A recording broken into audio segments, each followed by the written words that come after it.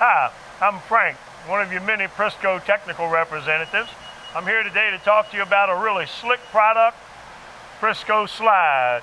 If you want it to be slick, you spray Slide on it and it'll be slick. Right now we're going to talk a little bit about press room applications. You can spray this stuff on your continuous feed forks.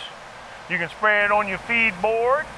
You can spray it on your back cylinders to help to keep the ink from sticking to them and you can also spray it on your delivery forks.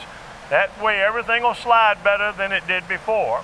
Now also, if you're running a web press with a former board, this stuff is great to make that former board slick. Now what you do is you spray it on, you let it sit a few minutes, and then you just wipe it off. And it'll make everything a lot slicker.